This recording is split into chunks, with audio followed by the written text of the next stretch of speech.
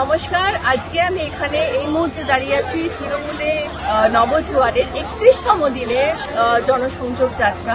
আমাদের সকলের প্রিয় সেনাপতি অভিষেক ব্যানার্জি বিগত তিরিশ দিন ধরে উনি এই যাত্রাটা করছেন এবং আজকে একত্রিশতম দিনে আমাদের সকলের প্রিয়, আমাদের দলের আমাদের দলনেত্রী মমতা বন্দ্যোপাধ্যায়ও যোগ দিলেন আজকের এই অধিবেশনে। আপনারা নিশ্চয়ই দেখেছেন ইতি একটি মুহূর্তে যে কীভাবে এখানে সবাই একত্রিত হয়েছিলেন এবং এটাই সবাই চাইছে। এটা দিদি চাইছেন, এটা অভিষেক চাইছেন, ওটা আমরা সকলেই চাইছি যে আমরা সবাই ইউনাইটেড থাকব।